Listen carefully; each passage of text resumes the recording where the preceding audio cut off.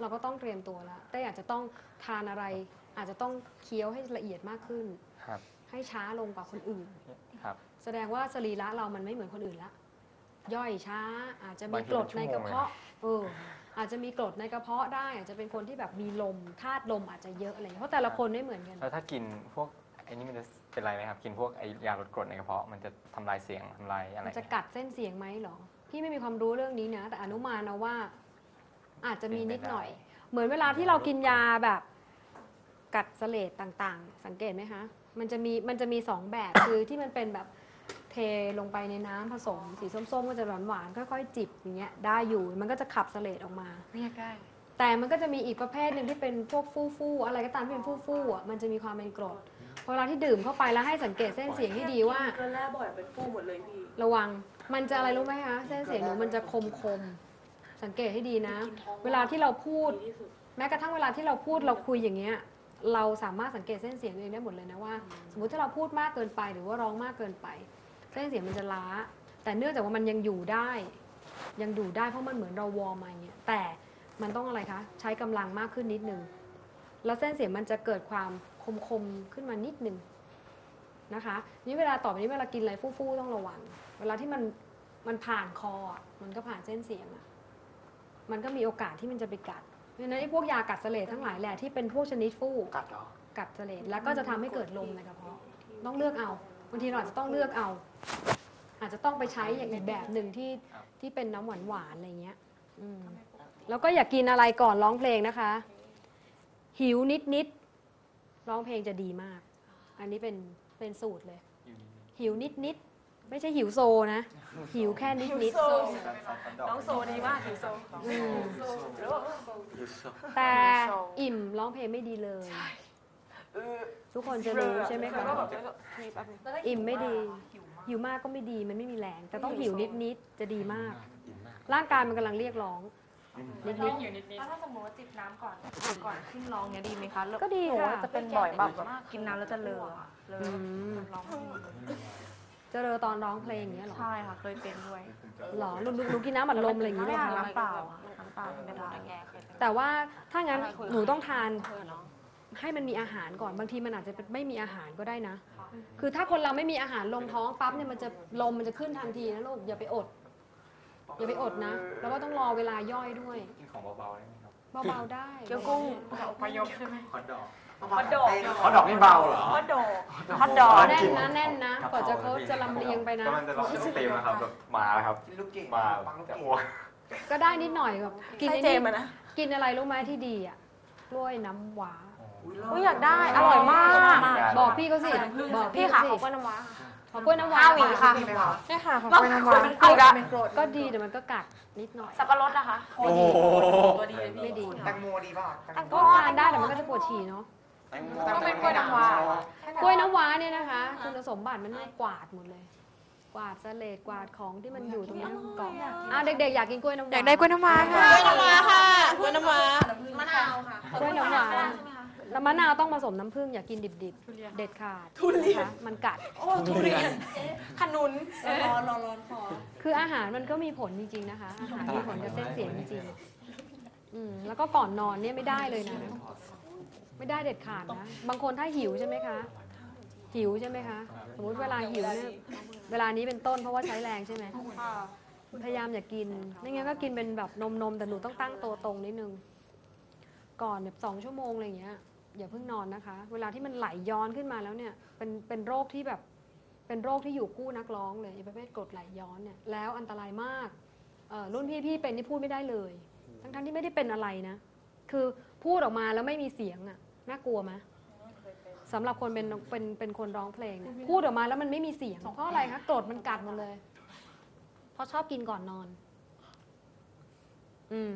กินแล้วหนูล้มตัวลงนอนมันก็ย้อนสิเพราะฉะนั้นนั่งหลับ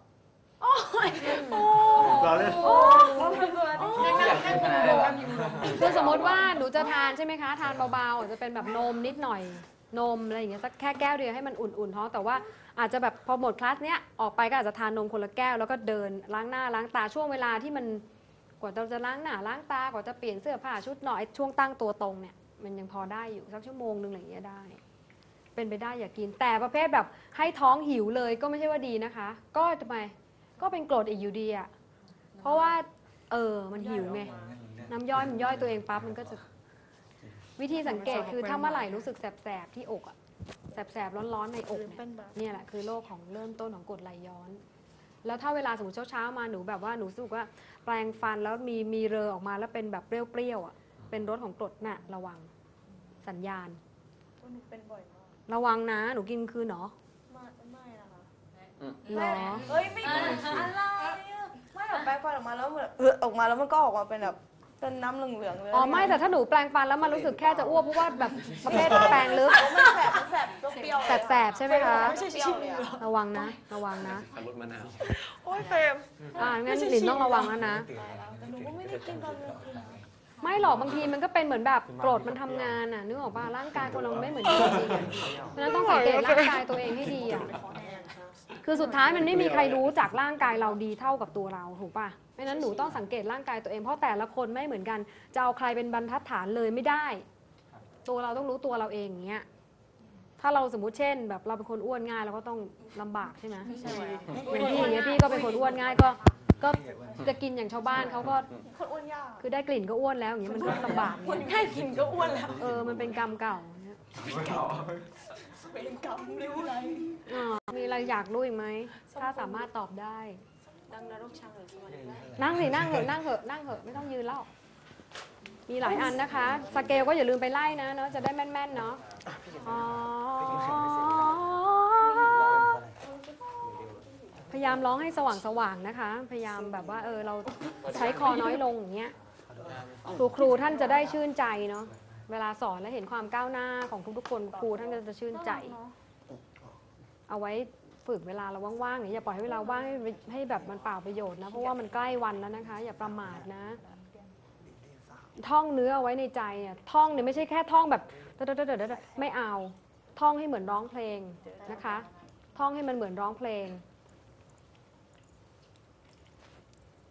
คือท่องในใจแต่ต้องมีจังหวะจากโครนทุกอย่างเหมือนการร้องเพลง แล้วหนูจะแม่นขึ้นเนี่ยเป็นวิธีแบบง่ายๆเลยค่ะ อาจจะไม่ต้องออกเสียงก็เป็นการเซฟด้วยเซฟเสียงว่าเออยังไม่ยังไม่ร้องยังไม่ออกเสียงอะไรเงี้ยอืมอยากรู้อะไรอีกไหมคะ นั่งลูกบอลอะไร ลูกบอลอ่าขึ้นคอนเสิร์ตค่ะ ต้องให้แฟนคลับค่ะอืมคน แล้วก็ต้องเขียนให้ค่ะ จะมีใครเอาพี่อ้น มีสิมีสิคนเชียร์เยอะแยะ ผู้ชายน้อยเนี่ยคิดได้อย่างเงี้ยเขาหยิบมาคืนโยนมาทำไมล่ะครับตบมือก้อนเขาไม่หนูจะดูว่าหนูจะมาสนใจอยากรู้อะไรอีกไหมคะ อยากให้พี่ป้าคอมเมนต์ให้หนูว่าเป็นหนูด้วยค่ะหนูหนูด้วยค่ะเครียดมากหนูด้วยค่ะก็เอาเท่าที่มีความรู้พอที่จะคอมเมนต์ได้นะคะ ก็อย่างอย่างหลินอย่างที่พี่บอกอะถ้าหนูร้องเป็นแนวกว้างแผ่แผ่เป็นกิ้งก่าแบบแผงคอเยอะๆอย่างเงี้ยหนูจะเหนื่อย เออหนูจะเหนื่อยค่ะ เพราะว่าเพลงมันแรงเพลงมันใช้พลังเยอะ แต่หนูเหมือนกับว่าร้องเบาๆก็ไม่ไม่ค่อยเพราะหนูติดไม่ค่อยอยู่ตัวเลยค่ะแบบขึ้นมาอย่างเงี้ยหนูติดเท่านั้นเองใช่มันไม่อยู่ตัวเลยบางทีมันเหมือนกับว่าสียงแกว่งมากเลยค่ะ บางทีมันเหมือนกับว่าเราอาจจะต้องเปลี่ยนวิธีบางอย่าง คือเหมือนกับว่าเราต้องรู้เรียกว่า รู้จักร่างกายแล้วนี่ เรามีภูมิความรู้กันหมดแล้วนี่ เราเรียนร้องเพลงกันมาก็ก็ก็ไม่น้อยแล้วนะ ถ้านับเนี่ยเรียนทุกวันทุกวันนี่ไม่น้อยนะคะ เสียงมันก็เริ่มอยู่ตัวละ นี่เรามีภูมิความรู้แล้วเราเริ่มรู้แล้วนี่ว่าอะไรที่มันใช้กับอะไร เราก็ต้องคิดละต้องเป็นนักวิเคราะห์แล้วล่ะ เอามาแดปอย่างหลินอย่างเงี้ยคืออย่างที่บอกเสียงมันหนูเคยชินกับการร้องแบบนี้มากกว่า มันไม่ใช่ว่าแบบพอเพลงช้าแล้วหนูแบบเพลงเบาแล้วหนูทำไม่ได้ไม่ใช่ ไม่ใช่หนูแค่ชิน ชินกับวิธีเนี้ยเคยใช้มาตลอด แล้วก็ดีไม่ดีก็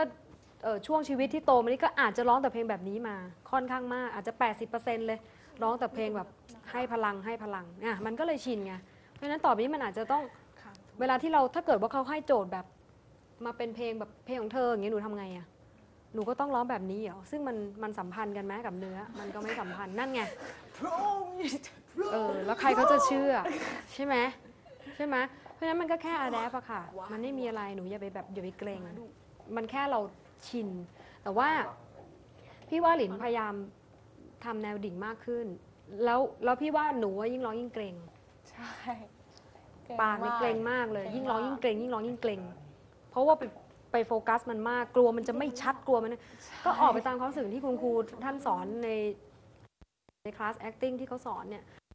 วิธีพวกนี้คือใช้ได้หมดเลยค่ะ การโยนผ้าของคุณเล็กการโฟกัสอะไรก็ตามที่ท่านสอนเนี่ยใช้ได้หมดเลย จริง ๆ แล้วเนี่ยทุกคลาสที่เขาทำขึ้นมาเนี่ยมองให้ดีลองวิเคราะห์สิคะ มันเป็นลอจิกหมดเลยเห็นไหมคะ มันเป็นลอจิกหมดเลยค่ะคลาส acting มันทำให้หนูอะไร เกิด inner คลาสดามันทำให้หนูอะไร movement และสวยงาม เวลาอยู่บนเวทีแล้วมันสง่างาม movement ไม่พอทำให้เข้าใจจังหวะมากขึ้น แม่นกับจังหวะมากขึ้นใช่ไหมคะคลาสของคุณเล็กทำอะไร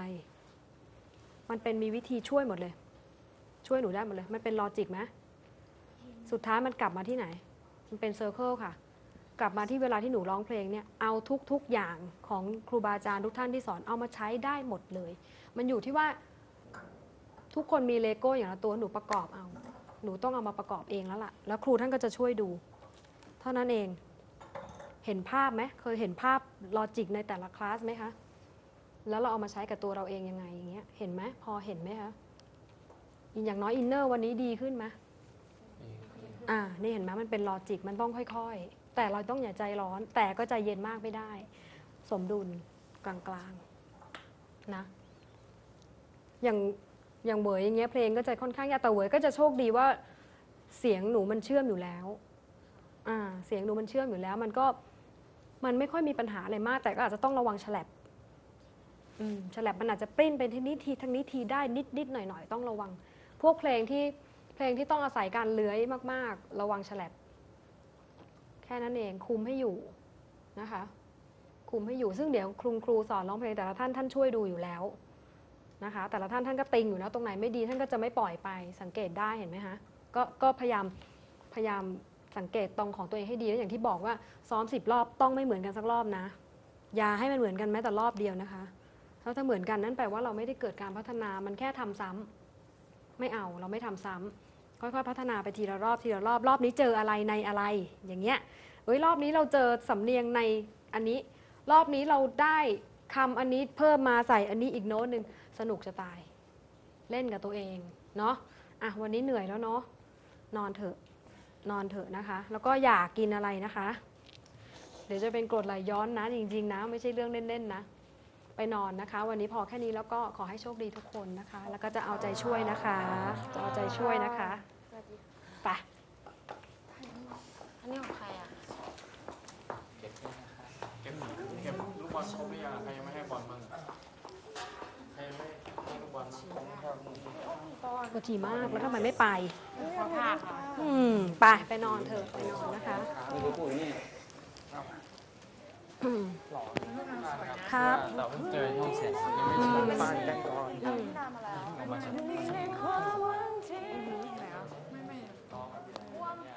ลงลงไปกันบ้างฮะลงแต่ว่าด้วยด้วยเสียงผู้เต่าอยู่ตรงนี้อยู่แล้วนะ